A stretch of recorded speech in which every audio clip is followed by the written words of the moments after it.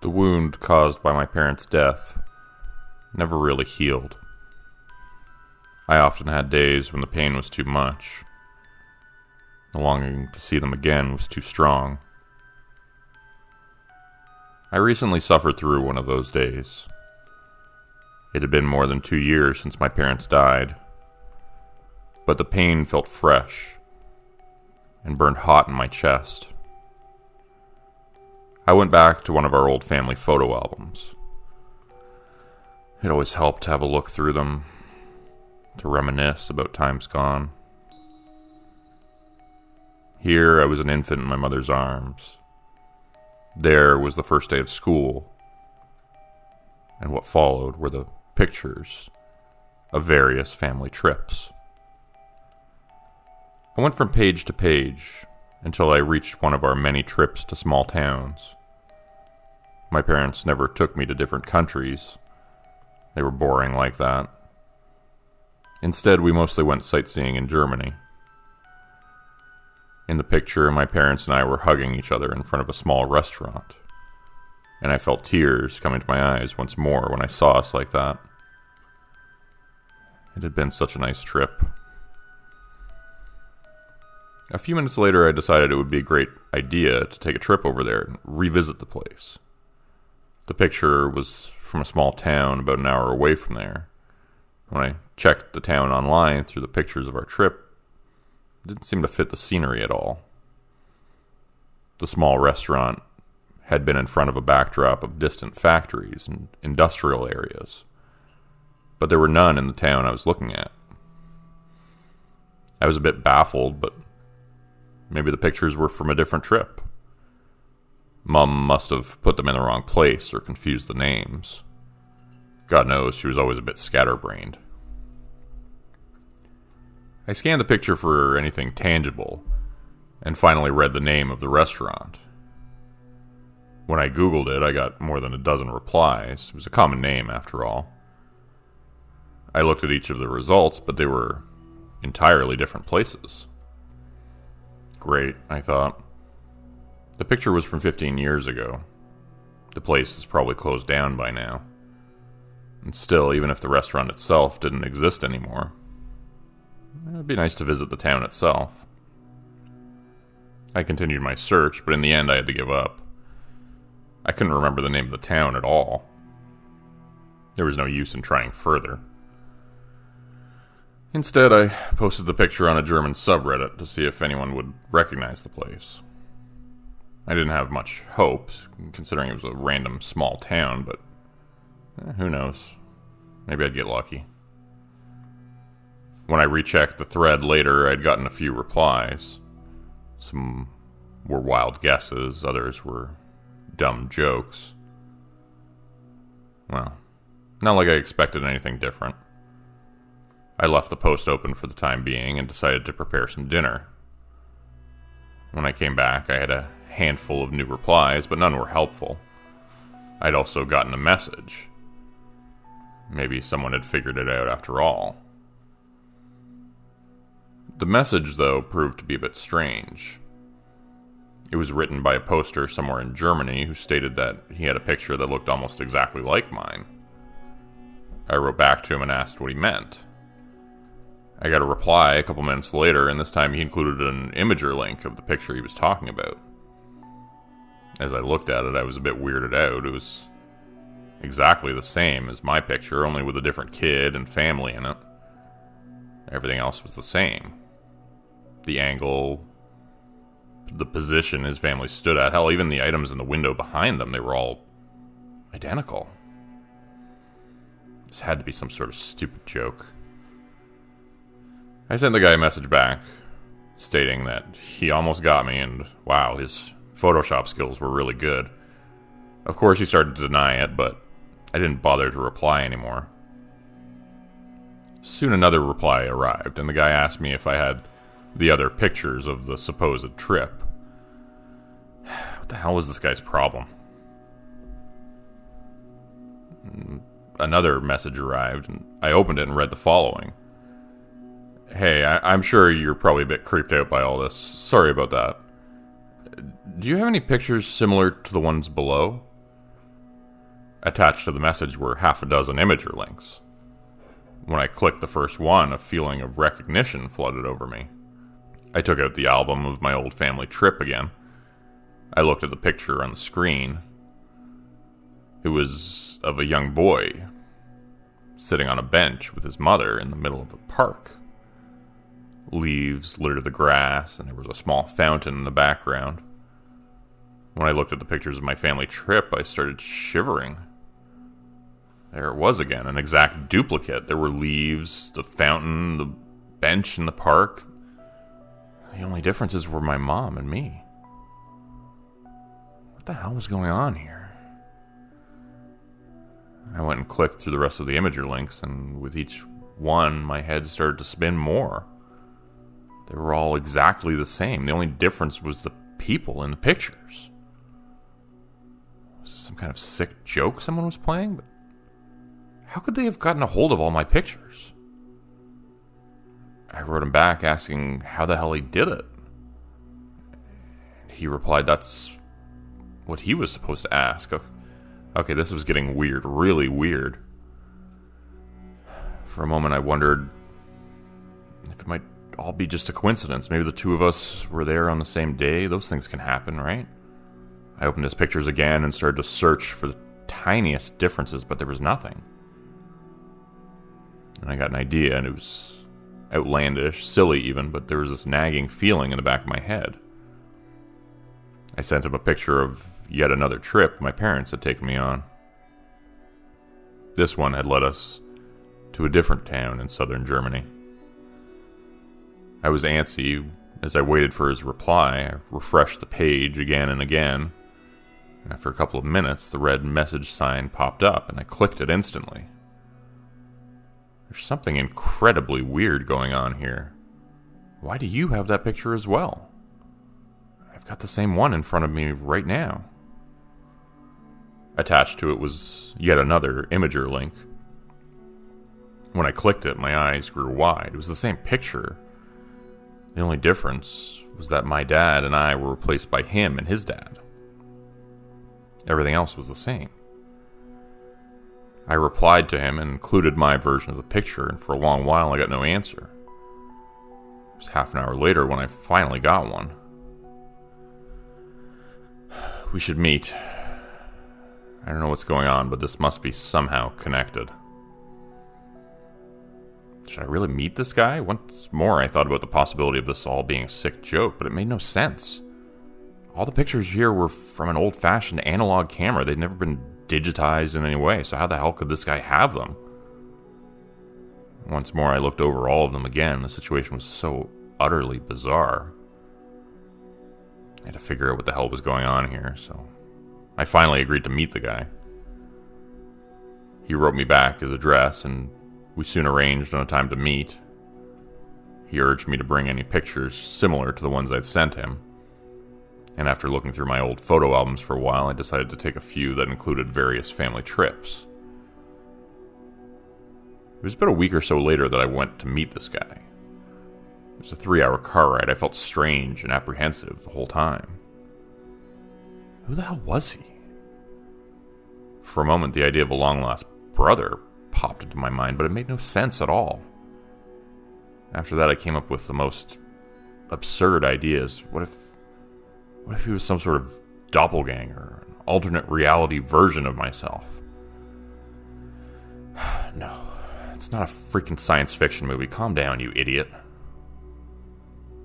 When I finally arrived, I was relieved to find that the guy's house looked completely different from my own. Still, it took me a while to get out of my car.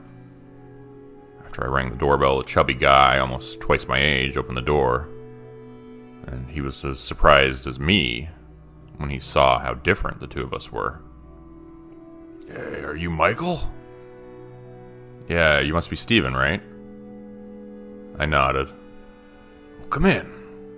Did you bring the pictures? Yeah, I brought the whole stack of them. The guy's place was messy, seriously messy. It looked as if it had been weeks, if not months, since he'd last cleaned. He didn't even seem to care as he led me into his living room. I looked up and I saw the whole side of the room was taken up by a giant desk. Multiple computers, monitors, and an assortment of tools covered it. When he noticed my stares, he showed me an awkward smile. Uh, sorry about that. I guess I'm a bit obsessed with the whole computer and internet thing. It's where I do most of my work, anyways. Oh, so you're a programmer? Yeah, something like that, yeah. The guy mumbled. Alright, well, I got the pictures, so what do you think's going on here? The guy laughed for a bit. To be honest, I've got no clue. I thought it might be some weird coincidence, but there are too many things that don't add up. When did you say you and your parents visited that restaurant again? I think it was back in 2005. Right, right. And you're how old? 24. What does that have to do with anything? Well, it's because I'm 36 and I took that same trip back in 1992. I had heard what he said, but he, I didn't understand. How the hell could the pictures be identical if they were 13 years apart? You got it, right? So, how the hell is any of this possible? The other picture you sent me, when were you there? Hold on, I opened my backpack and took out the other photo albums. It should be here somewhere, I said as I started to look through them. Here it is. Let me see. Um, that one was back in 2002. Michael grimaced. Same trip. Only in 1990. Freaking hell. What the hell's going on here? He didn't answer. Instead, he rummaged through a cupboard and brought out stacks upon stacks of old pictures. Well, let's see if there's more. In the next hour, the two of us went through all of our pictures and compared our various trips. The result was that almost all of them were the same. At first, we were utterly horrified and crept out, but in time, the sheer surreality of the situation pushed us into a state of apathy. We went from picture to picture and compared them. Every once in a while, we would laugh. One of us would shake their head, but nothing more. So, what about your parents? How are they doing? I asked as I put another picture back into one of my albums. Both dead. They died about two years ago. In a car accident? Michael looked up at me, puzzled. No, they both died in a fire. Oh, God. For a second I thought, what is it? I sighed. Well, mine died two years ago in a car accident. For a moment, I thought it might have been the same for yours. I don't know anymore. This is all way too strange. Michael said nothing.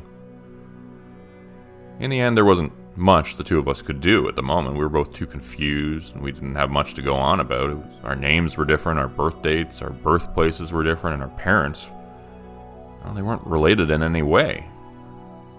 For a while, we made wild guesses, tried to consider what may be going on, but it was all nonsense. One afternoon turned to evening, I decided it was time to make my way back home. Before I did, though, we exchanged phone numbers and emails in case one of us could find anything. Michael took out copies of some of my old pictures and told me he'd have a look online. He knew certain people that could find out if any of the images were doctored.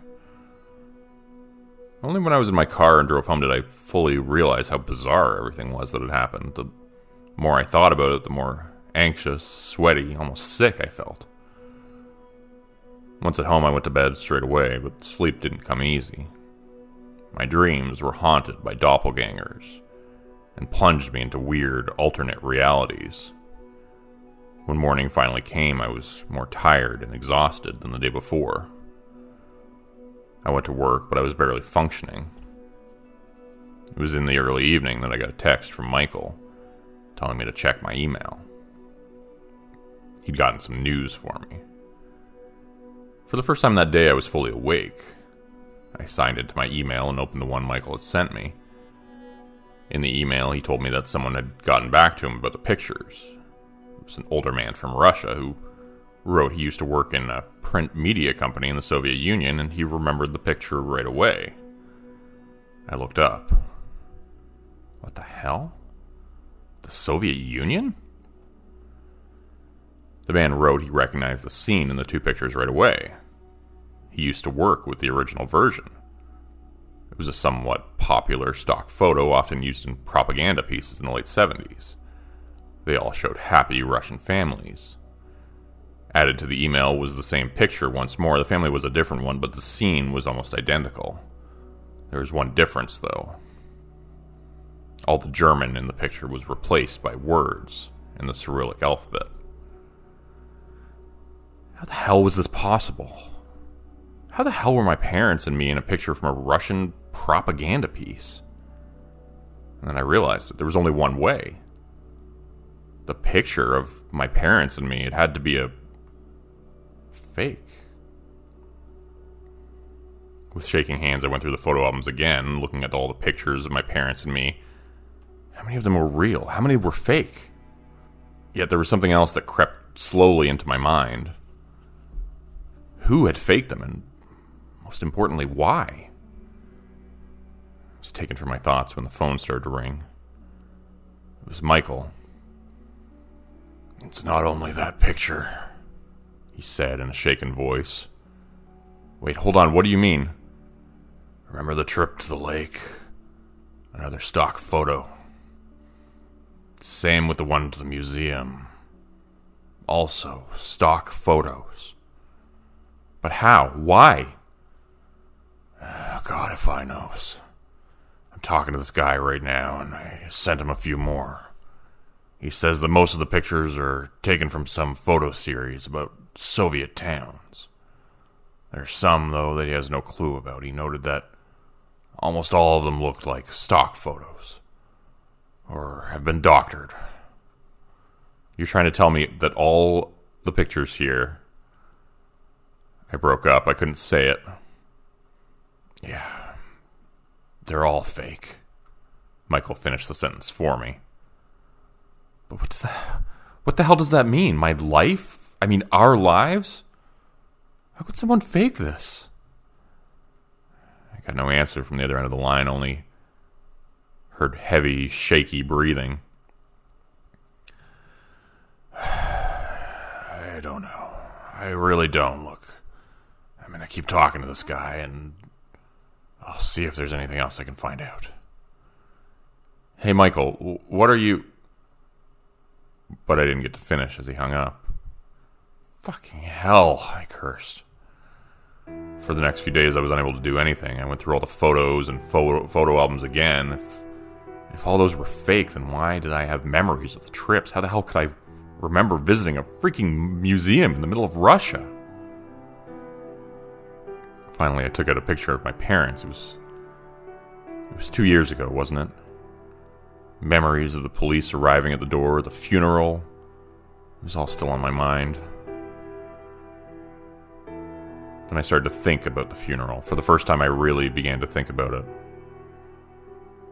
When exactly had it been? I knew it was two years ago, but what day, what month? Where had I been? Must have been in this town, right? I mean, this is where I grew up. I shook my head. I was out of it. I barely slept. My mind was fuzzy. Of course, it had to be here, right? If I went to the graveyard, I'd, I'd find their graves there. Suddenly, a cold shower went down my spine. Where exactly was my parents' grave? I was about to set out when my phone rang again. It was Michael once more. I answered right away. Did you find anything new? Nothing. All I heard was shaky breathing and sobbing. Hello, Michael? Are you alright?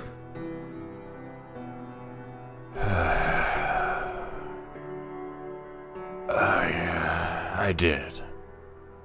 But no, no, sorry, Steve. I'm sorry. Please, leave this thing alone. It's not worth it. Just forget about everything you found out. Nothing good will come of it. With that, he hung up again. And when I tried to call him, it went straight to voicemail. I didn't get what was going on. I wrote him a message on Reddit, then an email, but never got an answer. I don't know how often I tried to call him, but eventually I went to bed. It was a few days later, almost by sheer accident, that I saw Michael's death in a German tabloid. A few days ago, and late in the evening, a man in his mid 30s had jumped to his death. My jaw dropped, and I stared at the article with wide eyes. What the hell was going on? What the hell had Michael found out that drove him to do this? I felt goosebumps all over my arms, and for a moment a surge of anxiety flushed over me. What had Michael found out that was so terrible? I remembered his last words. I was hearing them over and over in my head during my three hour car ride to his home. The place was dark and quiet, but looked exactly the same. I didn't know what I was even doing, but I wanted, no, I needed to know what the hell was going on. The front door was locked as I'd expected, but I found a cracked window that I could open up. I snuck inside and made my way through the messy place until I was back in his living room. Half of his computers were trashed. Freaking hell, did he know I'd come here? Then I found a stack of papers on the floor. Some were printouts of stock photos, the others were covered in text. And when I picked them up, they looked like scientific documents. Stage 7 Memory Alteration. Test subjects are infused with artificial memories to create the illusion of a normal life. What the hell was this? I went through the stack and checked another one. Stage 3 Growth acceleration. Gen manipulation ensures maturity of test subjects in only a fraction of normal human growth period. What was I reading? This made no sense. I checked the rest of them, but they were all the same. Stage 4 Mind exhilaration. Stage 8 Social behavior therapy. And on and on it went. I looked through the whole stack until I found the last one. Stage 13 Project Termination and Future Developments. Test subjects show insufficient results. Project deemed unsuccessful and to be terminated immediately. Euthanasia of remaining test subjects considered unnecessary. To be kept under surveillance to gather information about adaptability to social norms, and society. What the hell was this shit? I didn't understand any of it. When I checked the date, I saw that this last document was from early 2017, the same year my parents had died. Head was spinning. This couldn't be real, could it? I went through the stack once again to read more, but then I heard something. The front door was open and there was the shuffling of heavy feet. Do we think he told the other subject? I heard a voice say. Nah, the logs show that he attempted contact, but he didn't share anything. I froze. Shit, who the hell was this? When the heavy steps got closer, I told myself I had to get out of there as fast and quiet as I could. I made my way back to the window and got out. It wasn't even a minute later that I drove off. I had no freaking idea what I just witnessed. Could any of this be real? It had to be a sick joke, hadn't it? But then what about those damn documents that Michael had found? I don't remember much about my drive home. I'm. I was entirely out of it. I still am. Once I went home, I went through my old place and tried to find any information I could about my parents. There's nothing seem to only exist in my memories and in these old photos. The more I think about it, the more I realize how much I don't know about them. Where were they born? How old had they been? Did they get married? And if so, when? As I'm sitting here typing this out, I don't know what to think. Is any of this real? Are my memories real? Am I even a real person? So I want to give a huge thanks to the writer of tonight's story, uh, Renee Wren. Uh, Renee is a very talented writer. He's also a YouTube narrator. You can find his uh, his channel on YouTube called Renee Writes, and uh, you can also find his book on Amazon. Um, it's titled The Wolf King: Tales with Sharp Teeth. Uh, and there's another book called The First Few Times Always Hurt a collection of short horror stories by Renee Wren. Uh, please check these out. I'll link them in the description below. And also, please take a look at uh, uh, Renee Wren's YouTube channel. It's also um, very, very good. He's got a lot of videos up there, almost 300 videos. He's a very talented uh, narrator as well. Thanks for watching today's video, everybody. And please tune in on Wednesday this week. Where I'll have a, uh, a massive story for, for you all. It's a a five part series that has not been narrated before, and I'm very excited to share it with you all. So, once again, thanks for watching, and join me again this Wednesday, 4 p.m. Eastern Standard Time. Take care. Have a good night, everybody.